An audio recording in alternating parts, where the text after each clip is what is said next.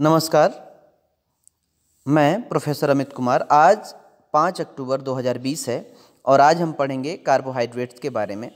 सो so, carbohydrates हमारी normal ज़िंदगी के लिए डेली लाइफ के लिए बहुत ही ज़्यादा इम्पोर्टेंट है और नॉर्मली कार्बोहाइड्रेट से हमें इनर्जी मिलती है। सो so, पढ़ते हैं energy that is needed to move perform work and live is chiefly consumed in the form of carbohydrate. हमारे शरीर के लिए जो ज़रूरत है कार्बोहाइड्रेट, वो कोई वर्क परफॉर्म करने के लिए, ज़िंदा रहने के लिए हम कार्बोहाइड्रेट को खाते हैं। Carbohydrate primarily starches are least expensive जो कार्बोहाइड्रेट है, उसमें तमाम तरह के पॉलीसेकेराइड हैं, जिनमें स्टार्च आता है, जो कि काफ़ी सस्ता है, और ये हमारा मुख्य भोजन का स्रोत है। Easily obtained and readily digested form of fuel आसानी से हमें मिल जाता है। जो कि धान, गेहूँ, ज्वार, बाजरा मक्का में होता है, आसानी से डाइजेस्ट हो जाता है मतलब कि हमारे शरीर में पच जाता है और वो हमें फ्यूल देता है एनर्जी देता है। कंपोजिशन के बारे में बात करेंगे।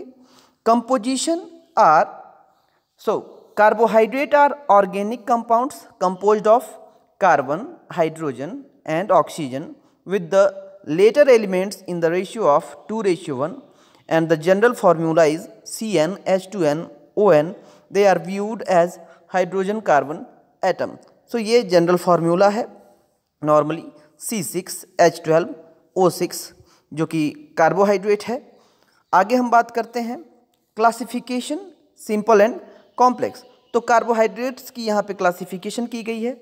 तो दो तरह के यहाँ पे कार्बोहाइड्रेट्स बता रहा है. पहला है सिंपल कार्बोहाइड्रेट और दूसरा है कॉम्प्लेक्स कार्बोहाइड्रेट। अब सिंपल कार्बोहाइड्रेट में आता है मोनोसेकेराइड एंड डाइसेकेराइड। ये दोनों हैं सिंपल कार्बोहाइड्रेट। अब यहाँ पे हम मोनोसेकेराइड की बात करेंगे। तो मोनोसेकेराइड में दो कैटेगरी हुई, होती है। पहली है एल्डोसिस की और दूसरी है कीटोसिस की। तो कीटोसिस का जो एग्ज़ाम्पल आता है, फ्रक्टोस आता है। अब यहाँ पे फिर आ जाता है एल्डोसिस की, फिर से चार कैटेगरी आती है। चार कैटेगरी में से फिर हम यहाँ पे बातें करेंगे। जो पहली कैटेगरी होती है, वो ट्राइयोसिस की होती है, जिसमें तीन कार्बन एटम होता है। इसका जो एग्ज़ाम्पल है, उदाहरण है, ग्लिसरल्डिहाइड है, और जो दूसरा है, टेट्रोसिस, इसमें आता है चार कार्बन एटम और इसका जो एग्ज़ाम्पल है, एरिथ्रोस है, उसके बाद से आता है पेंटोसिस। पेंटोसिस में होता है पाँच कार्बन एटम और इसका एग्ज़ाम्पल है राइबोस और जाइलोस। उसके बाद से आता है हेक्सोसिस इसमें होते हैं सिक्स कार्बन एटम और इसका जो एग्ज़ाम्पल है ग्लूकोज है। नॉर्मली हम डेली लाइफ में ग्लूकोज की मात्रा को लेते हैं हमारी बॉडी ग्लूकोज बहुत जल्दी से एब्जॉर्ब कर लेती है और एनर्जी प्रोवाइड करती है। अब हम बातें करेंगे कॉम्प्लेक्स कार्बोहाइड्रेट के बारे में। सो so, इसमें आता है पॉलीसेक्राइड इसका जो एग्ज़ाम्पल है स्टार्च एंड ग्लाइकोजन ज़्यादा मात्रा में हम स्टार्च को ही खाते हैं। अब पॉलीसेक्राइड में भी दो कैटेगरी आ गई है। अब इसमें पहला आता है होमोपोलीसेकेराइड और दूसरा है हेट्रोपोलीसेकेराइड। तो होमोपोलीसेकेराइड में आता है स्टार्च और डेक्स्ट्रिन, जो कि हम ज़्यादा मात्रा में खाते हैं। उसके बाद से आता है हेट्रोपोलीसेकेराइड में हेल्यूरोनिक एसिड। सो कार्बोहाइड्रेट जब भी हम खाते हैं तो पहले मैं आप लोगों को बता दिया हूँ कि ये मुख्य सोर्स है किसका? एनर्जी का। ये जो आपका सब्जेक्ट है, न्यूट्रिशन का, ये न्यूट्रिशन के पॉइंट ऑफ़ व्यू से मैं ये लेक्चर ले रहा हूँ कार्बोहाइड्रेट का। अगर food chemistry point of view से मैं दूसरा लेक्चर लूँगा। अगर फ़ूड केमिस्ट्री के हिसाब से कार्बोहाइड्रेट को पढ़ना है, ये सिर्फ़ और सिर्फ़ न्यूट्रिशन के पॉइंट ऑफ़ व्यू से मैं लेक्चर ले रहा हूँ क्योंकि सब्जेक्ट आपका न्यूट्रिशन का है। आगे मैं आप लोगों को बताता हूँ कार्बोहाइड्रेट के बारे में। So, carbohydrate are classified depending on the number of sugar units, they contain as simple carbohydrate and complex carbohydrate. अब उसमें कार्बन के जो यूनिट्स हैं, कितने हैं उसमें कार्बन नंबर उसके हिसाब से डिपेंड करता है, कैसा रहेगा? पहला आता है इसमें monosaccharide and disaccharide make up simple carbohydrate called simple sugars containing one and two sugar units respectively अब यहाँ पे क्या बिल्कुल क्लियर दे रखा है कि मोनोसेक्राइड और जो डाइसेक्राइड हैं वो किससे बनते हैं? वो सिंपल शुगर बोलते हैं और उसमें एक या फिर दो शुगर यूनिट्स जुड़े रहते हैं। आ, मैं आपको फ़ूड केमिस्ट्री के या फ़ूड बायो केमिस्ट्री के चैप्टर में या सब्जेक्ट में आप लोगों को उनके स्ट्रक्चर्स के बारे में पूरा डिटेल में आप लोगों को बताऊँगा। बहुत जल्द भी उसका लेक्चर डालने वाला हूँ। So polysaccharide called complex carbohydrate are structurally larger and more complex than simple sugars. बहुत ही क्लियर दे रखा है कि पॉलीसेक्राइड जो हैं, उन्हें कॉम्प्लेक्स कार्बोहाइड्रेट कहते हैं, जो कि स्ट्रक्चरली क्या होते हैं, बड़े होते हैं और काफ़ी ज़्यादा कॉम्प्लेक्स होते हैं। इसमें पहले ही बता दिया हूँ कि स्टार्च है, वो कॉम्प्लेक्स कार्बोहाइड्रेट में आता है पॉलीसेक्राइड आता है। और ये सिंपल शुगर से काफ़ी ज़्यादा कॉम्प्लेक्स होते हैं। They include starch dietary fibre and glycogen यहाँ पे उदाहरण भी दे रखा है। आगे हम फिर से बातें करेंगे। There are two main classes of monosaccharide based on the carbonyl group present in them they are aldoses and ketoses so aldoses की कैटेगरी में आता है glucose containing the aldehyde group जिसे हम सी एच ओ बोलते हैं and ketosis जिसका example होता है fructose containing the ketone group C double bond O अब जो कीटोन है आप लोगों ने कीटोन और कीटोसिस और या कीटो डाइट के बारे में अगर नाम सुना होगा तो मैं आप लोगों को बता दूँ कि आ, अगर कार्बोहाइड्रेट की बात हो रही है सो नॉर्मली कीटो डाइट अभी कुछ दिन पहले ही किसी की डेथ हुई है और बोल रहे थे कि वो कीटो डाइट ले रही थी तो ये भी अगर आप फ़ूड टेक्नोलॉजिस्ट हैं तो कीटो डाइट के बारे में आपको जानना ज़रूरी है।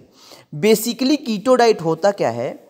इसमें हम कार्बोहाइड्रेट की जो मात्रा है, वो बहुत ही कम कर देते हैं। लगभग जहाँ तक मेरी जानकारी के मुताबिक पचास ग्राम या फिर उससे कम एक दिन में हम कार्बोहाइड्रेट की मात्रा लेते हैं और बाकी हम जो फ़ूड लेते हैं, वो फैट बेस्ड फ़ूड होता है और प्रोटीन बेस्ड फ़ूड होता है। फैट और प्रोटीन बेस्ड फ़ूड होता है, जिसमें ज़्यादातर मात्रा हम प्रोटीन की ही लेते हैं। अब क्या होता है, ये बॉडी को ग्रो करने के लिए रन करने के लिए नॉट फॉर ग्रो रन करने के लिए इनर्जी के लिए मूव करने के लिए इनर्जी की ज़रूरत पड़ती है। और वो इनर्जी कहाँ पे कंप्लीट होती है? वो कार्बोहाइड्रेट से कंप्लीट होती है। अब हमने कार्बोहाइड्रेट लेना ही बंद कर दिया। तो मैंने आपको पहले बता रखा था कि एक ग्राम कार्बोहाइड्रेट खाने से फोर किलो कैलोरी हमें एनर्जी मिलती है और एक ग्राम प्रोटीन खाने से हमें फोर किलो कैलोरी एनर्जी मिलती है और सेम वैसे ही एक ग्राम फैट लेने से हमें फोर किलो कैलोरी एनर्जी मिलती है। अब होता क्या है कीटो डाइट में कि हम कार्बोहाइड्रेट छोड़ देते हैं। अब बॉडी क्या करती है? एनर्जी के लिए प्रोटीन और फैट के ऊपर डिपेंड हो जाती है। प्रोटीन और फैट को बर्न करना शुरू करती है मतलब कि डाइजेस्ट करना शुरू करती है और उससे ये अपना एनर्जी लेना शुरू करती है। अब जो लोग फैट, फैटी लोग होते हैं, जिनमें फैट ज़्यादा होता है, ओबीज जो लोग होते हैं तो उस केस में क्या होता है? जो लोग कीटो डाइट शुरू करते हैं तो उनका जो फैट बर्न होना शुरू हो जाता है। लेकिन एक चीज़ ध्यान रखना है कि कीटो डाइट ज़्यादा दिन तक नहीं रखना है। ज़्यादा दिन तक रखेंगे तो आपका वज़न बहुत कम हो सकता है और बॉडी में बहुत ज़्यादा प्रॉब्लम्स हो सकती हैं।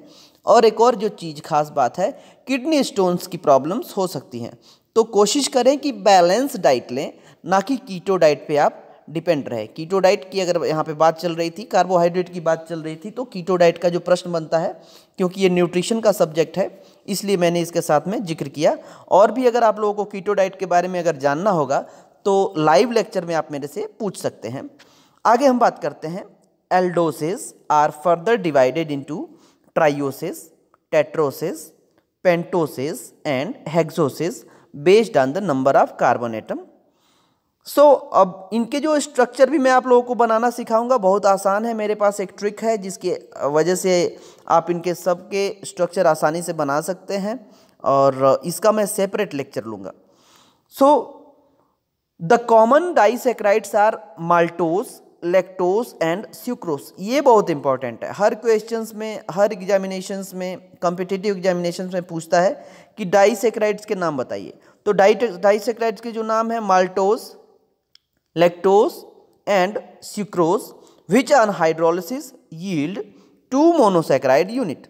अब ये इनकी हाइड्रोलिसिस होती है तो दो मोनोसेक्राइड के यूनिट मिलती हैं इनसे। अब कैसे होती है ये? अगर दो ग्लूकोज ग्लूकोज मिलेंगे तो उससे माल्टोज बनता है। राइट मतलब माल्टोज उसकी हाइड्रोलोसिस हुई। ग्लूकोज प्लस ग्लूकोज और याद रखिएगा कि हमारी जो बॉडी है ग्लूकोज को ही अब्जॉर्ब करती है। बॉडी में कोई भी चीज़ आप खाते हैं सो बॉडी में वो जाती है और वो ब्रेकडाउन होती है तो ग्लूकेज, ग्लूकोज में कन्वर्ट होता है और ग्लूकोज में कन्वर्ट होने के बाद से ही फिर हमारी बॉडी को एनर्जी मिलती है। So maltose, glucose plus glucose, क्या बनेगा? माल्टोज। किसमें आया? डाइसेक्राइड में। फिर आगे बात आती है लेक्टोस लेक्टोस की हाइड्रोलिसिस करते हैं। ब्रेकडाउन होता है, क्या होता है? ग्लूकोज प्लस गैलेक्टोस या फिर ऐसे बोल दीजिए ग्लूकोज और गैलेक्टोस दोनों जब मिलते हैं तो क्या बनता है? लेक्टोस बनता है। अब फिर से यहाँ पे आया स्यूक्रोज की हाइड्रोलिसिस हुई ब्रेकडाउन हुआ किसमें आया? ग्लूकोज प्लस फ्रक्टोस दूसरे भाषा में कह सकते हैं फ्रक्टोस और ग्लूकोज अगर ये दोनों ज्वाइन होते हैं तो क्या बनाते हैं? स्यूक्रोस बनाते हैं। अब आगे हम बात करते हैं polysaccharide have high molecular weight and are insoluble in water इनका जो मॉलिकुलर वेट होता है पॉलीसेकेराइड का, ये इनसॉल्युबल होते हैं वाटर में मतलब कि घुलनशील नहीं होते हैं और काफ़ी ज़्यादा ये कॉम्प्लेक्स होते हैं। स्टार्च है पैक्टिन भी पॉलीसेक्राइड में आता है डाइट्री फाइबर्स पॉलीसेक्राइड में आते हैं। So they are in the form of long chains इधर ब्रांच्ड और अनब्रांच्ड सो ये ब्रांच्ड वाले चेन में भी हो सकते हैं और अनब्रांच चेन में भी हो सकते हैं। आगे हम पढ़ते हैं। The polysaccharide are further classified into groups depending on the products they yield on hydrolysis so यहाँ पे जो दिया हुआ है homopolysaccharides yield only one time of monosaccharide units of hydrolysis जैसे कि स्टार्च डेक्स्ट्रिंग सेल्यूलोज और ग्लाइकोजन ध्यान देना the polysaccharide the polysaccharide are further classified into groups. Depending on the products they yield on hydrolysis. So homopolysaccharide yield only one type of monosaccharide जो homopolysaccharide है वो सिर्फ़ एक तरह का मोनोसेक्राइड देता है और यूनिट ऑफ़ हाइड्रोलिसिस जिसमें कि स्टार्च है डेक्स्ट्रिन है सेल्यूलोज है और ग्लाइकोजन है। सो so, आगे पढ़ते हैं। Heteropolysaccharide yield more than one type of monosaccharide units अब इसमें क्या है? हिपेरिन है हेल्यूरोनिक एसिड है। So heparin is an anticoagulant found in the liver याद रखिएगा, ये कॉम्पिटिटिव एग्जामिनेशन का क्वेश्चन है। Heparin is an anticoagulant found in the liver spleen lungs and blood आगे है hyaluronic acid is found in the umbilical cord, synovial fluid and vitreous humor. It has a lubricating action. Lubricating action का काम करता है. In the tissues, it forms an important part of cementing ground substances.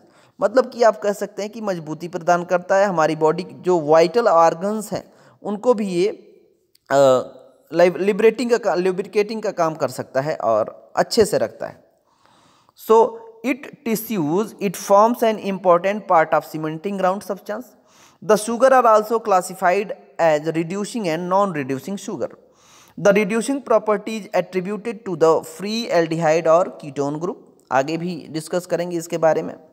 अब यहाँ पे शुरू होता है जो मेन आप लोगों का लेक्चर है उसके बारे में। Carbohydrate perform the following function याद रखिएगा ये मैं न्यूट्रिशन के पॉइंट ऑफ़ व्यू से ले रहा हूँ। सो so, इनर्जी उससे मिलती है। The principal function of carbohydrate is to serve as a major source of energy for the body major source है किसके लिए? बॉडी के लिए मेन सोर्स है। इनर्जी उससे मिलती है। Each gram of carbohydrate Gill four kilo four kilo calorie of energy regardless of its source in Indian diet 60 to 80 percent of energy is derive from carbohydrate normally मैं पहले भी discuss कर चुका हूँ वेरी करता है साठ परसेंट नॉर्मली होता है पचास से सत्तर भी हो सकता है और इंडियन डाइट में साठ से अस्सी परसेंट तक हम एनर्जी जो है कार्बोहाइड्रेट से लेते हैं। क्योंकि अभी भी भारत डेवलपिंग कंट्रीज़ में है अभी भी डेवलप कर रहा है तो यहाँ पर अभी ज़्यादातर हम पोर्शन कार्बोहाइड्रेट से ही ले, लेते हैं। अब आगे बात करते हैं ग्लूकोज के बारे में। Glucose is indispensable for the maintenance of the functional integrity of the nervous tissues and is sole source of energy for the proper function of the brain brain की प्रॉपर फंक्शनिंग के लिए glucose की आवश्यकता पड़ती है। ऐसा part है जिसको हम नज़रअंदाज नहीं कर सकते हैं। इंडिस्पेंसिबल पार्ट है, जो कि हमारी बॉडी के लिए बहुत ज़्यादा ज़रूरी है एनर्जी के लिए बहुत ज़्यादा ज़रूरी है। Prolonged lack of glucose may cause irreversible damage of the brain अगर ज़्यादा समय तक अगर हम ग्लूकोज नहीं लेते हैं तो हमारे ब्रेन में भी डैमेज हो सकता है। आगे फिर हम बातें करेंगे प्रोटीन स्पेयरिंग एक्शंस के बारे में। तो carbohydrates exert protein sparing action if sufficient amount of carbohydrate are not available in the diet the body will convert protein to glucose in order to supply energy. अब अगर मान लीजिए कि carbohydrate अगर हम नहीं लेते हैं तो पहले मैं आप लोगों को बता रखा हूँ कि एक ग्राम प्रोटीन लेने से भी फोर किलो कैलोरी हमें एनर्जी मिलती है। सो so, अगर ज़्यादा टाइम तक अगर कार्बोहाइड्रेट नहीं लिए तो बॉडी क्या करती है कि प्रोटीन से एनर्जी लेना शुरू कर देती है। मैंने कीटो डाइट के बारे में अभी कुछ देर पहले ही बात किया था। सो so, कीटो डाइट तक पहुँचने में आदमी को तीन चार दिन में वो मेंटेन होना पड़ता है। शुरुआत में अगर कीटो डाइट कोई शुरू करता है तो उस कंडीशन में बॉडी प्रोटीन से ही एनर्जी लेना शुरू कर देती है। So hence to spare proteins for tissue building carbohydrate must be supplied in optimum amount in the diet this is called the protein sparing action of carbohydrate so यहाँ पे protein अपना work करने लगती है। अब यहाँ पे आप फिर से आगे आता है। फैट मेटाबॉलिज्म सो इस कंडीशन में फैट मेटाबॉलिशन में मेटाबॉलिज्म में carbohydrate are essential to maintain normal fat metabolism carbohydrate हमारी बॉडी के लिए ज़रूरत है, जो कि हमारी बॉडी में फैट की जो मेटाबॉलिज्म है, उसके लिए काफ़ी ज़्यादा इंपॉर्टेंट है। Insufficient carbohydrate in the diet result in larger amounts of fat being used for energy then the body is equipped to handle this leads to accumulation of acidic intermediate products called ketone bodies. मतलब आप ये समझ लीजिए कि body में ketone bodies नहीं बनना चाहिए। अगर ये बनेंगे तो प्रॉब्लम्स होनी शुरू हो जाएँगी। आगे फिर हम बात करते हैं synthesis of body substances so carbohydrate aid in the synthesis of non essential amino acids glycoproteins which function as antibodies and glycolipids which form a part of cell membrane in the body tissues specially brain and nervous system अब यहाँ पे clear दे रखा है carbohydrate aid in the synthesis of non essential amino acids अब non essential amino acids क्या है? पहले मैंने ज़िक्र करके रखा है कि जो ये प्रोटीन की छोटी यूनिट है नॉन इसेंशियल उसे कहते हैं कि हमारी बॉडी को बाहर से जिस प्रोटीन को नहीं लेना है, नहीं लेना होता है, वो नॉन इसेंशियल में आते हैं और जो इसेंशियल अमीनो एसिड्स होते हैं जो कि हमें बाहर से लेना पड़ता है, जो कि एग से लेते हैं, मीट से लेते हैं और तमाम तरह के प्लांट प्रोटीन से हम लेते हैं। तो यहाँ पे कार्बोहाइड्रेट फ़ायदा ये कर रहा है कि amino acids non essential amino acids हैं, उनको बना रहा है, उनको सिंथेसाइज करने में हेल्प कर रहा है। दूसरा क्या कहता है? Glycoprotein which function as antibodies अब बॉडी शरीर के प्रतिरोधक क्षमता को बढ़ाने के लिए भी ये काम करता है, जो कि ये ग्लाइकोप्रोटीन बनाता है। और आगे जो बढ़ाता है, glycolipids which form a part of cell membrane in body tissues specially brain and nervous system मतलब कि ये नर्वस सिस्टम को भी नरिश करता है, और उसके जो सेल मेम्ब्रेन के और जो बॉडी टिश्यूज़ हैं, उनमें भी ये काफ़ी ज़्यादा अच्छा वर्क करता है। अब आगे बात करेंगे। Lactose remains in the intestine longer than other disaccharide and thus encourage growth of beneficial bacteria अब जो लैक्टोस है अब लैक्टोस मेनली जो होता कहाँ पे है? सो so, ये मिल्क शुगर है लैक्टोस को हम मिल्क शुगर भी बोलते हैं। सो so, ये ज़्यादा टाइम तक हमारे इंटेस्टाइन में रहता है और उससे फ़ायदा क्या होता है? कि encourage growth of beneficial bacteria हमारी जो इंटेस्टाइन का जो माइक्रोबियल फ्लोरा है जो इसमें माइक्रो ऑर्गेनिज्म है बेनिफिशियल माइक्रो ऑर्गेनिज्म को ये का, क्या करता है? बढ़ाता है। आगे हम बात करते हैं precursor of nucleic acid so carbohydrate and products derived from then serve as precursor of compound like nucleic acid connective tissues matrix and galacto galactosides of nervous system totally अब ये जो कार्बोहाइड्रेट है, ये न्यूक्लिक एसिड को भी provide करता है, ये भी हमारी बॉडी के लिए काफ़ी ज़्यादा बेनिफिशियल है। आगे हम बात करते हैं detoxification function so glucuronic acid a metabolite of glucose serve as a detoxifying agent मतलब कि हमारी बॉडी में जो भी टॉक्सिक सब्सटेंसेज हैं, उनको भी ये क्या करता है? कम करता है डिटॉक्सिफाई करता है. टॉक्सिफाइंग मतलब कि जो आप कह सकते हैं सिंपल भाषा में, जहरीले जो चीज़ें हैं, उनको भी क्या करता है, कम करता है, ख़त्म करता है। तो डिटॉक्सिफिकेशन डिटॉक्सिफिकेशन का भी इसके पास फ़ंक्शन है। So it combines with harmful substances containing alcohol और phenolic group converting them harmless compound which are later excreted ये क्या करता है कि जो हार्मफुल सब्सटेंसेज हैं, जो ख़राब सब्सटेंसेज हमारी बॉडी में, जिसमें कि अल्कोहल है या फिर फिनोलिक ग्रुप है सो so ये क्या है converting them to harmless compound so so, जो हार्मलेस कंपाउंड में क्या कर देता है? कन्वर्ट कर देता है जो कि हमारी बॉडी से बाद में वो निकल जाता है। आगे फिर हम बात करते हैं रफेज ऑफ़ डाइट ये बहुत इंपॉर्टेंट है। नॉर्मली जो कॉन्स्टिफिके कॉन्स्टिपेशन के जो लोग होते हैं उनके लिए काफ़ी ज़्यादा ज़रूरी है। डाइटरी फाइबर के बारे में भी बात करें हम कुछ देर बारे में। जो कॉन्स्टिपेशन के लोग हैं वो ज़्यादातर मात्रा में अगर डाइटरी फाइबर लेते हैं उनके लिए काफ़ी ज़्यादा बेनिफिशियल होता है। So insoluble fibers known as composite carbohydrate can absorb water and give bulk to the intestinal contents which aid in the elimination of waste produced by stimulating peristaltic movement of the gastrointestinal tract. Totally ये जो roughage का काम करता है food लेते हैं, उसमें bulkiness provide करता है बल्कनेस भारीपन प्रोवाइड करता है वाटर को एब्जॉर्ब करता है बाउल मूवमेंट को सही करता है इंटेस्टाइनल जो ट्रैक में जो बाउल मूवमेंट होती है, उसको आसानी से करता है और जो हमारी बॉडी में जो सब फ़ूड जो डाइजेस्ट हो जाता है, फिर एक्सक्रीशन भी आसानी से हो जाता है। कॉन्स्टिपेशन नहीं होती है, उसके बाद से जो लोग जो जिनको मोटापा ज़्यादा है, अगर वो अच्छे मात्रा में डाइट्री फाइबर लेते हैं तो उनके लिए काफ़ी ज़्यादा बेनिफिशियल होता है, जो कि फर्दर जो चल के उनको, उनका वेट रिड्यूस करता है कोलेस्ट्रॉल लेवल रिड्यूस करता है। आगे है फ़ूड सोर्सेस ऑफ़ कार्बोहाइड्रेट कौन कौन से सोर्सेस है कार्बोहाइड्रेट के? So cereal grains roots and tubers are the major source of starch so cereal grains हैं, धान, गेहूँ, ज्वार, बाजरा, मक्का। रूट्स हैं, जैसे गाजर है, मूली है। ट्यूबर्स है, जैसे कि पोटैटो है। सो ये सब मेजर सोर्स हैं, किस चीज़ के? स्टार्च के। याद रखना आप लोग, जो स्टार्च है वो पॉलीसेक्राइड है। तो हम पॉलीसेक्राइड को ही खाते हैं। धान, गेहूँ, ज्वार, बाजरा, मक्का, इन सब चीज़ में मिलता है। और दूसरा क्या है? Fruits and vegetable contain varying amounts of monosaccharide and disaccharide so sugar is obtained from sugar cane गन्ने से भी हम लेते हैं। अब आगे डिस्कस करते हैं, थोड़ा type and sources of carbohydrate इसके बारे में थोड़ी बहुत हम बातें कर लें।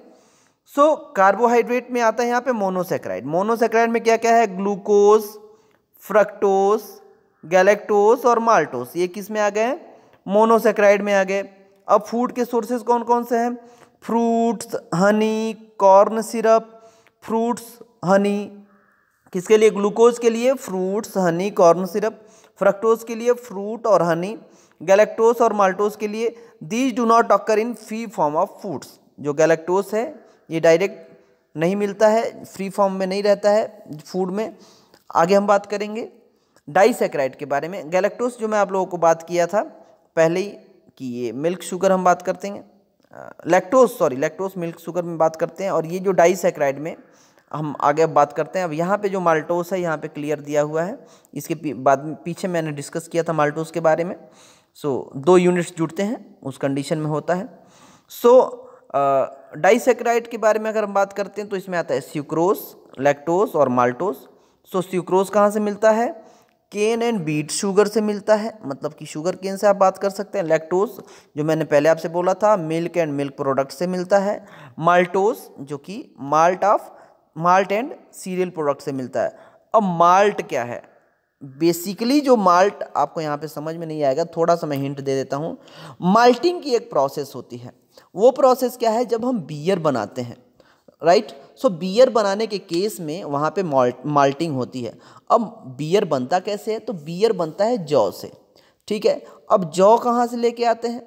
सो so, उस कंडीशन में जो जौ होता है उस जौ को सबसे पहले हम जर्मिनेशन कराते हैं।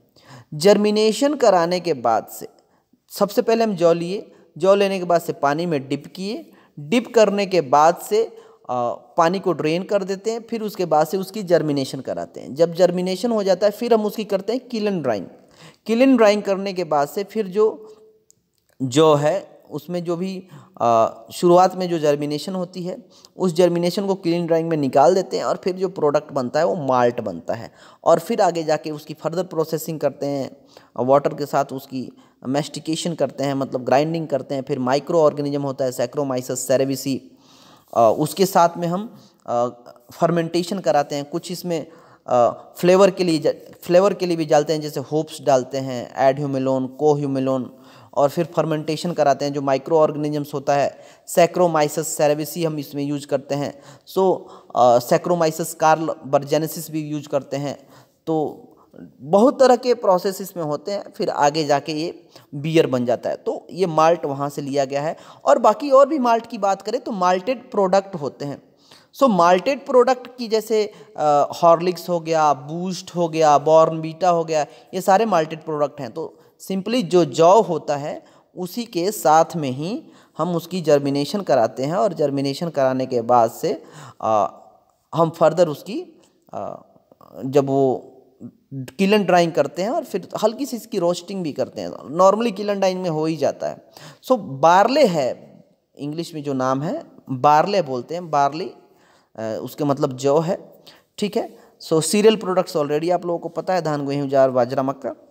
आगे आता है पॉलीसेक्राइड के बारे में बात करते हैं। सो so, पॉलीसेक्राइड जो कि डाइजेस्टिबल पॉलीसेक्राइड है वो है स्टार्च एंड डेस्ट्रिन स्टार्च और डेक्सट्रिन। सो इसमें कौन कौन कहाँ कहाँ से मिल जाता है? ग्रेन्स से मिल जाता है vegetables specially roots and tubers and legumes so यहाँ से मिल जाता है ये। लेग्यूम्स मतलब कि दालें ठीक है? ग्लाइकोजन जो है meat products and sea food से हमें मिलता है जो कि ये डाइजेस्टेबल हैं डाइजेस्ट हो जाते हैं हमारी बॉडी में। अब आगे आता है इनडाइजेस्टेबल जो कि हमारी बॉडी में डाइजेस्ट नहीं होते हैं।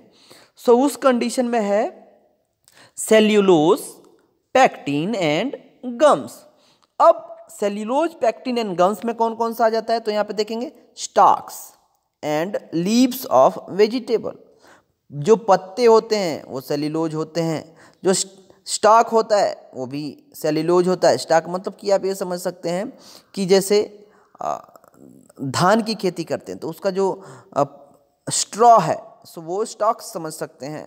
वो सारे के सारे सेल्यूलोज मटेरियल्स बने होते हैं। Outer coats of seeds fruits plant secretions and seeds so ये सारे चीज़ जो होते हैं, वो सेल्यूलोजिक मटेरियल होते हैं। और मैं आप लोगों को बहुत ही सिंपल लैंग्वेज में मैं आप लोगों को बोलता हूँ। और यहाँ पे गम्स भी दे रखा है। और गम्स के बारे में बात करें पैक्टिन के बारे में बात करें तो पैक्टिन जो ज़्यादा अगर हमें मिलता है अगर गुड सोर्स की बात करें पैक्टिन के बारे में तो पैक्टिन हमें गुआवा अमरूद मराठी में उसे पेरू कहते हैं।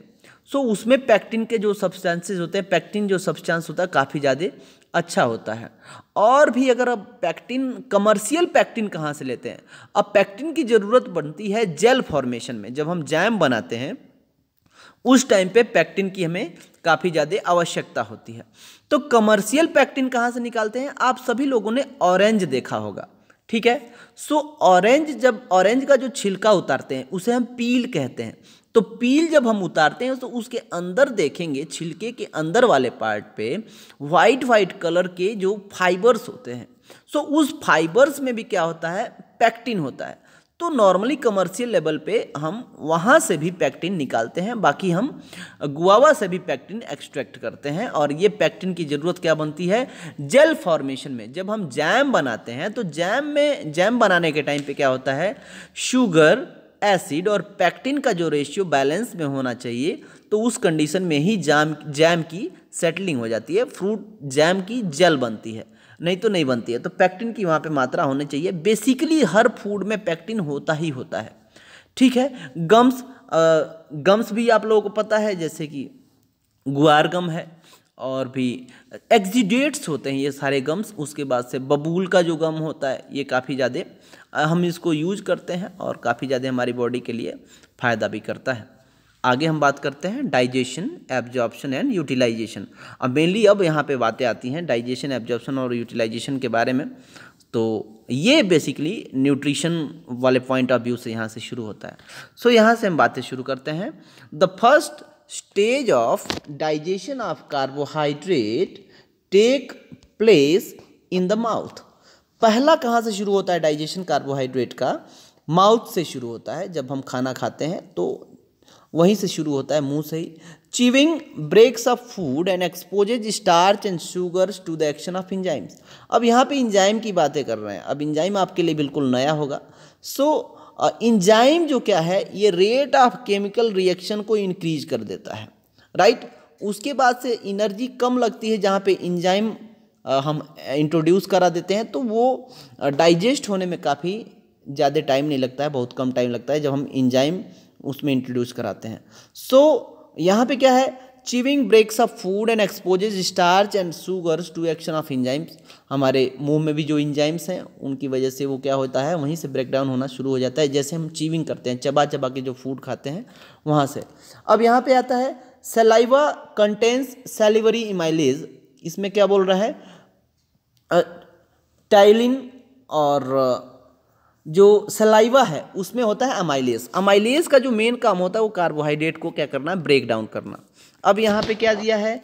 It converts starch to maltose but this limit the action of salivary amylases because as the food enters the stomach the acid present in the stomach blocks the action of salivary amylase मतलब कि अब यहाँ से क्या होता है? It convert starch to maltose अब ये जो सेलेवरी अमाइलेज है, ये स्टार्च को स्टार्च क्या है? वही कार्बोहाइड्रेट पॉलीसेक्राइड वो क्या करता है? इसको स्टार्च से माल्टोस में कन्वर्ट कर देता है राइट और फिर ये बॉडी में जाता है, और बॉडी में क्या होता है कि एसिड्स भी रहते हैं, और फिर वो अंदर जाके उसके एक्शन को ब्लॉक कर देते हैं।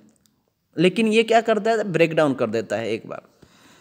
In the stomach the acid causes hydrolysis of sucrose अब जो पेट में जाता है ये तो क्या होता है कि पेट में एसिड्स भी हैं सो वहाँ पे बाइल एसिड का भी काम करता है बाइल एसिड होता है सो पैनक्रियाटिक जूस भी होता है सो तमाम तरह के अभी मैं बात करूँगा। In the stomach the acid cause hydrolysis of sucrose stomach में जाता है, उसमें एसिड रहता है, जो कि हाइड्रोलोसिस कर देता है किस चीज़ का? स्यूक्रोज का। In the small intestine pancreatic amylase छोटी आंत में, क्या होता है? स्मॉल इंटेस्टाइन में पैनक्रियाटिक अमाइलेस होता है। And intestinal amylase digest starch up to the stage of maltose फिर ये माल्टोज बनाने तक का ये आगे चल के काम कर देते हैं। यहाँ पे थोड़ा सा अच्छे से बना के दिया हुआ है। स्टार्च है सेलेवरी अमाइलेज है और पैनक्रियाटिक एंड इंटेस्टाइनल अमाइलेज है। ये बना देते हैं माल्टोज प्लस आइसो माल्टोज हमारी बॉडी में जाके बना देते हैं। आगे हम बात करेंगे glycogen is also broken by these enzymes to disaccharide अब जो बॉडी का ग्लाइकोजन है, वो भी क्या हो जाता है?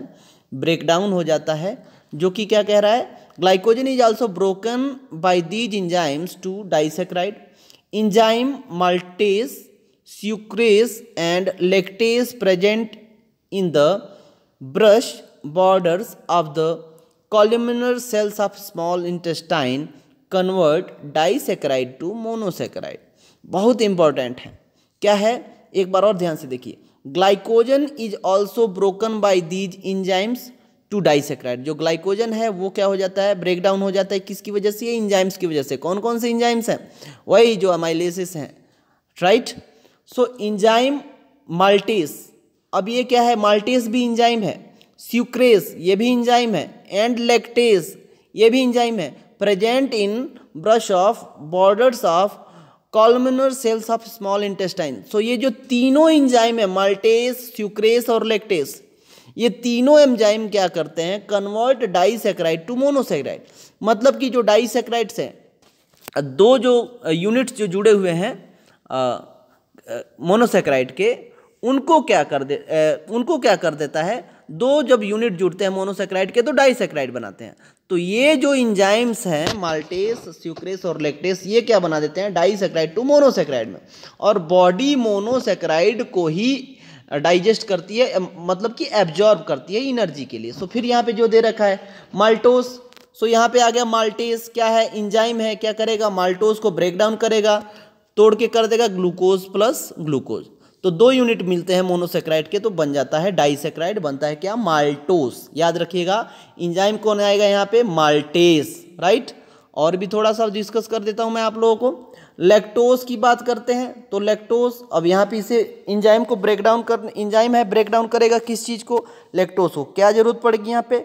लैक्टेस। क्या ज़रूरत, आगे क्या होता है? ब्रेक डाउन होकर चला गया, ग्लूकोज प्लस गैलेक्टोज, राइट? अब फिर से हम बात करते हैं स्यूक्रोस के बारे में। स्यूक्रोस इंजाइम किस चीज़ की ज़रूरत पड़ी? कौन से इंजाइम की? स्यूक्रेस क्या आ गया? ग्लूकोज प्लस फ्रक्टोस हमारी बॉडी क्या चीज़ ऑब्जॉर्व करती है? मोनोसेक्राइड को. राइट सो उसी से एनर्जी लेती है तो ये सारे ब्रेक डाउन हो जाते हैं माल्टोस लेक्टोस और स्यूक्रोस अब आगे बात करते हैं सेल्यूलोस के बारे में. So cellulose and other polysaccharide are not digested by enzymes जो सेल्यूलोज है और अदर पॉलीसेक्राइड हैं, जो कि इंजाइम से डाइजेस्ट नहीं होते हैं so undigested material passes to large intestine forming bulk which contains to faeces जो हमारा फिकल मैटर है, उसके रूप में जो अनडाइजेस्टेबल पार्ट है, जो हमारी बॉडी में नहीं पचता है, वो हमारी बॉडी से फिकल मैटर के रूप में बाहर निकल जाता है। आगे बात करते हैं। The end of product of carbohydrate digestion are monosaccharide इसमें कौन कौन सा है? जो एंड ऑफ़ प्रोडक्ट है कार्बोहाइड्रेट का आफ्टर डाइजेशन वो क्या क्या है? ग्लूकोज, गैलेक्टोज एंड फ्रक्टोज मतलब कि बॉडी में जो हम सबसे पहले स्टार्च लिए, मुँह में क्या है अमाइलेसिस है इंजाइम्स है, वो क्या किया? ब्रेक डाउन किया, अंदर गया हमारी बॉडी में, उसमें क्या है? जो पेनक्रियाटिक और इंटेस्टाइनल अमाइलेसिस हैं, वो उस बॉडी में जा गया और वो उसको ब्रेक डाउन किए। क्या बना? माल्टोस प्लस आइसोमाल्टोस बना। राइट अब उनको क्या करता है? और भी इंजाइम्स हैं। माल्टोस को तोड़ने के लिए माल्टेस आ गया ग्लूकोज प्लस ग्लूकोज फिर और भी जो है लेक्टेस है, उसके लिए लेक्टेस लेक्टोस है लेक्टेस इंजाइम आया, वो क्या गया? वो क्या किया? ग्लूकोज प्लस गैलेक्टोस ये भी मोनोसेक्राइड में आ गया। उसके बाद बॉडी में हम जो सुक्रोस है सुक्रोस को स्यूक्रेस इंजाइम आया। वो फिर इंजाइम हमारी बॉडी में ग्लूकोज प्लस फ्रक्टोज किया। अब फिर इन जब ये सिंपल शुगर्स में हो जाते हैं तो हमारी बॉडी क्या करती है? उनको एब्जॉर्ब कर लेती है। अब आगे हम बात करते हैं। They are absorb by process of active absorption by the mucosa of small intestine so body में, जो स्मॉल इंस्टेस्टाइन में म्यूकोसा है, वो क्या करता है? इनको एब्जॉर्ब कर लेता है। अब हम आगे बातें करेंगे मेटाबॉलिज्म के बारे में। So metabolism occurs inside the various cells of body there are two type of metabolism anabolism building up and catabolism breaking up so यहाँ पे बहुत ही क्लियर से दे रखा है कि जो मेटाबॉलिज्म है उस मेटाबॉलिज्म में दो प्रोसेस आते हैं। पहला आता है एनाबॉलिज्म मतलब बिल्डिंग अप मतलब बनाना। एंड कैटाबॉलिज्म ब्रेकिंग डाउन मतलब कि तोड़ना।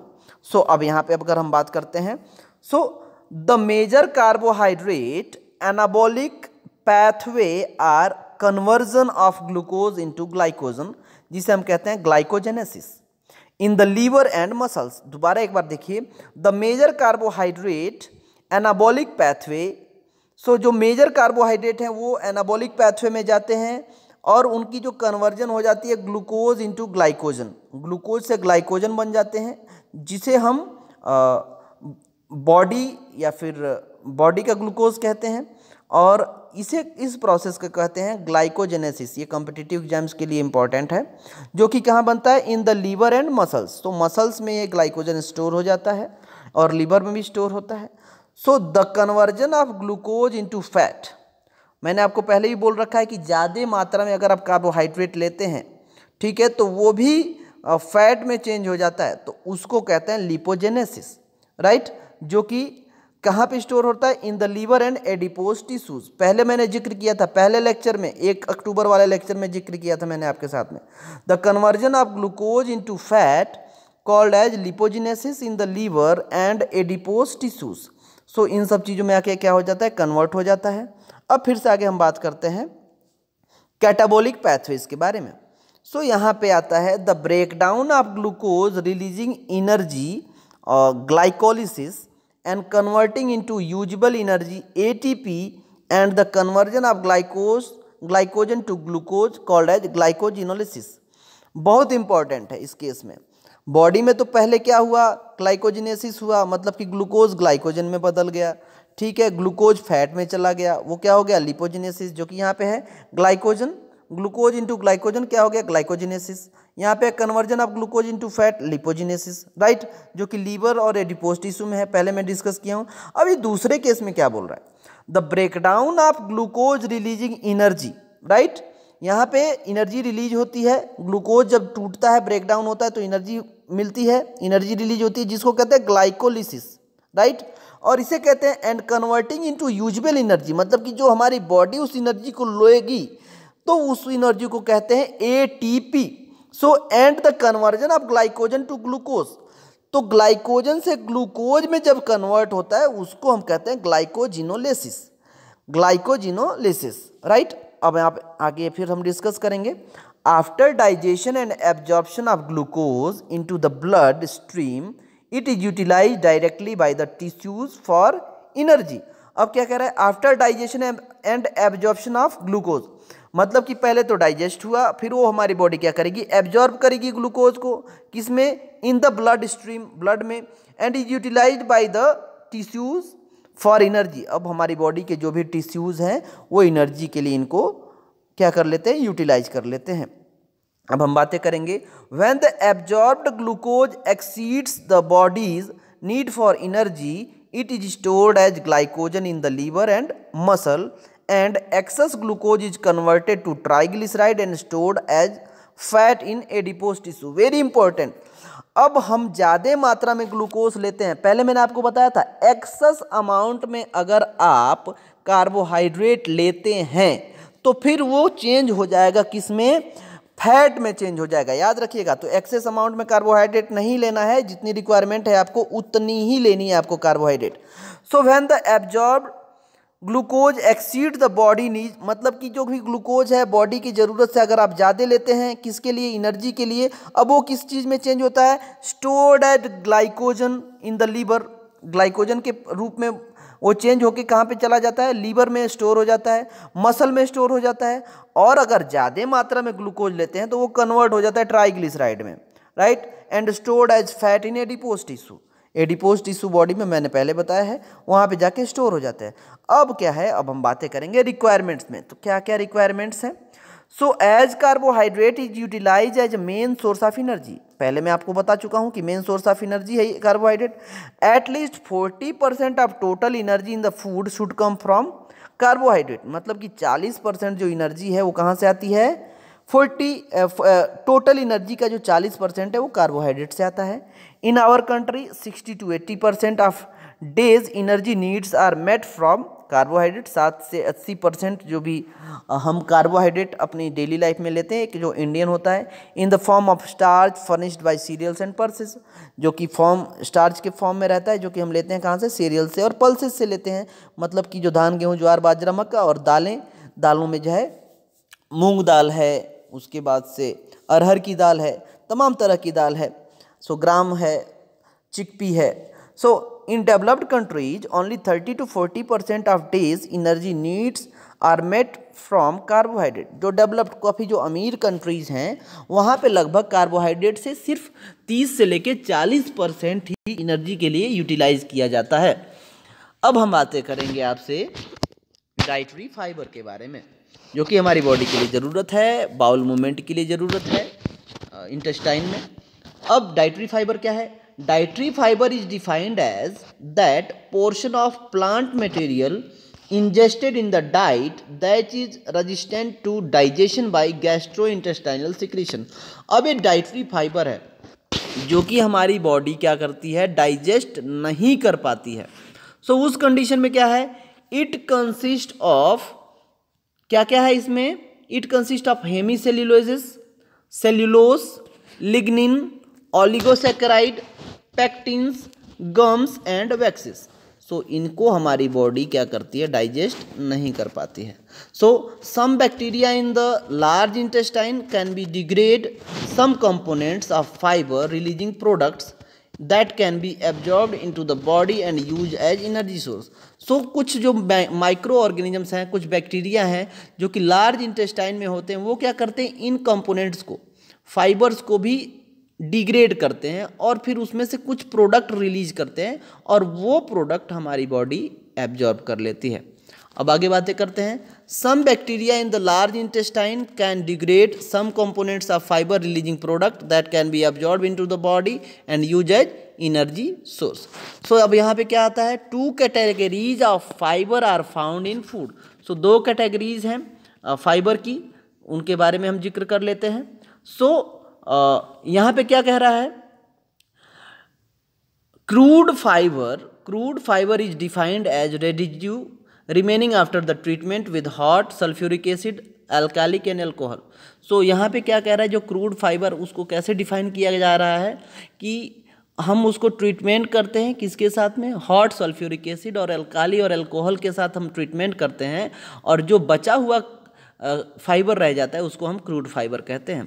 आगे है the major component of crude fiber is polysaccharide called cellulose जो कि पॉलीसेक्राइड है जिसे हम सेल्यूलोज कहते हैं।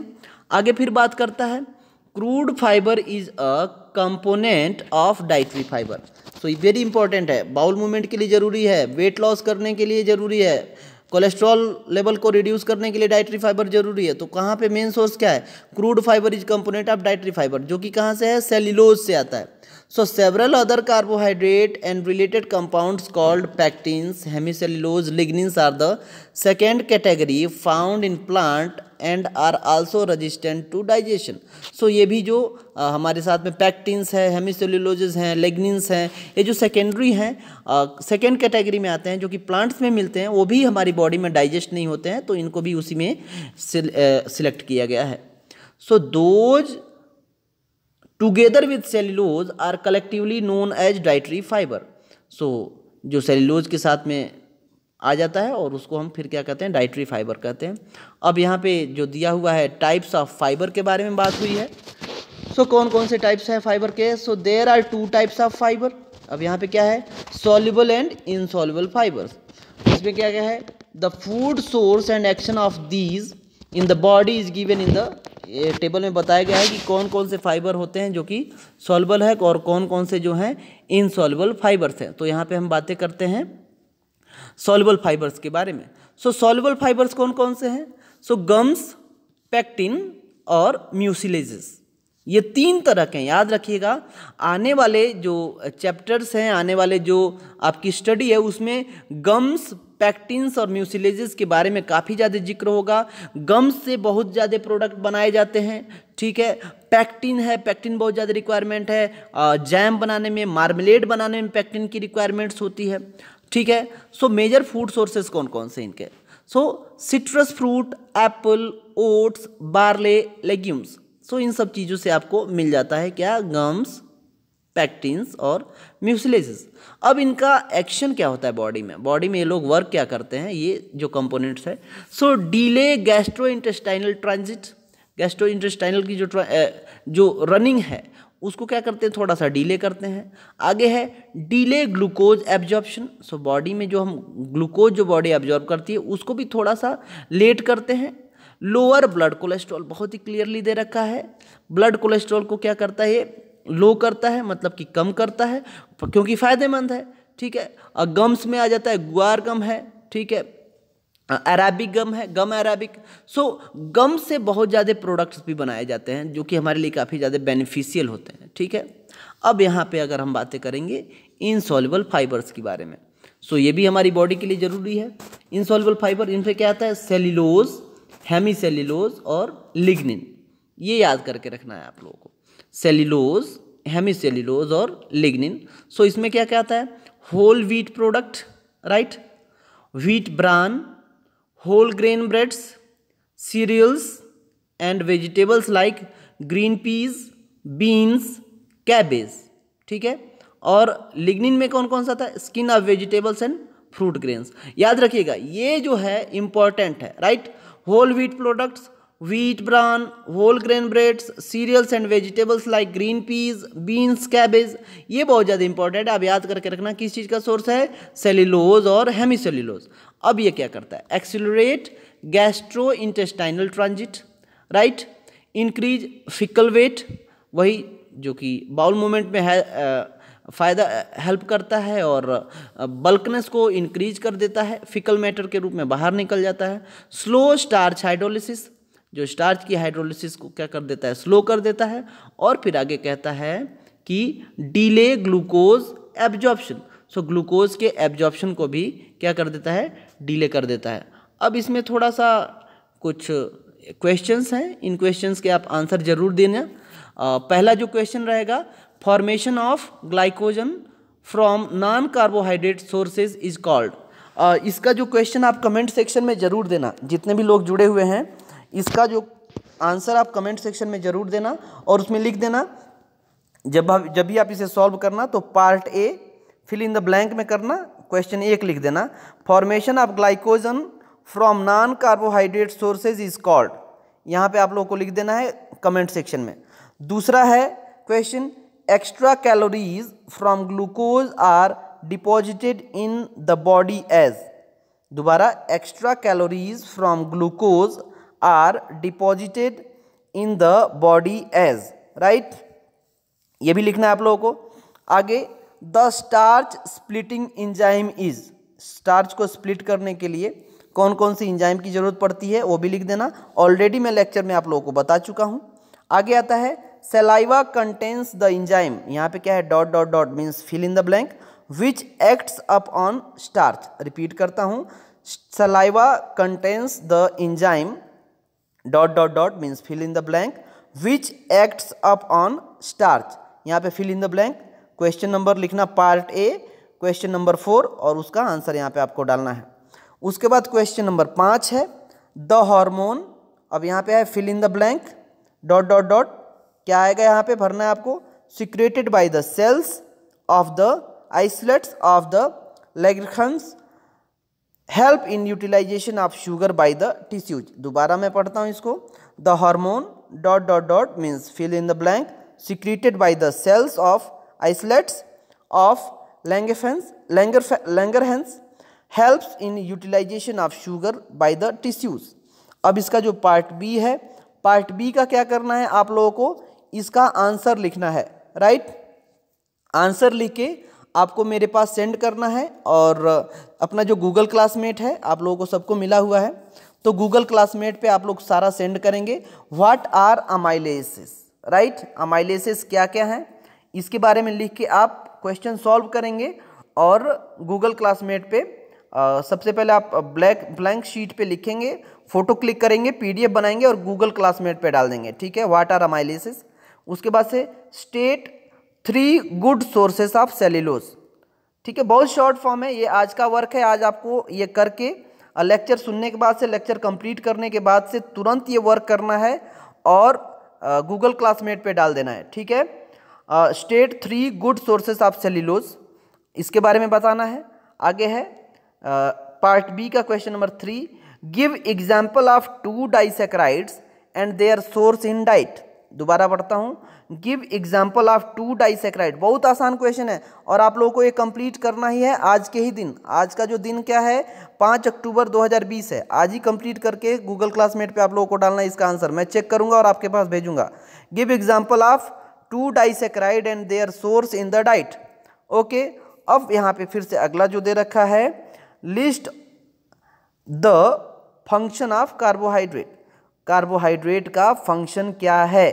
ठीक है तो इसके बारे में भी आप लोगों को लिखना है। इसका नोट्स मैं अभी भेज दे रहा हूँ ठीक है? सो आप लोगों को आसानी से मिल जाएगा। अब फिर यहाँ पे जो अगला क्वेश्चन है डिटेल्ड जो क्वेश्चन है describe the digestion of carbohydrate carbohydrate जो कि कैसे डाइजेशन होता है कार्बोहाइड्रेट का उसके बारे में आपको डिटेल क्वेश्चन लिख के आप लोगों को भेजना है मेरे पास। राइट सो so, ये भी क्वेश्चन आप मेरे पास सेंड करेंगे। अगला है क्लासीफाई कार्बोहाइड्रेट कार्बोहाइड्रेट को कैसे क्लासीफाई करते हैं? Write in detail about the main properties of various classes of carbohydrate so इसके बारे में भी आपको मुझे भेजना है। सो so, ये सारा कंप्लीट करने के बाद से आप मुझे आज के ही दिन आप मुझे सारा गूगल क्लासमेट पे भेजेंगे और इसके जो नोट्स हैं मैं आपको नोट्स भी प्रोवाइड करा दे रहा हूँ ताकि आप अच्छे से वहाँ से लिखें और इस असाइनमेंट को कंप्लीट करें और हमारे पास इसको भेजें।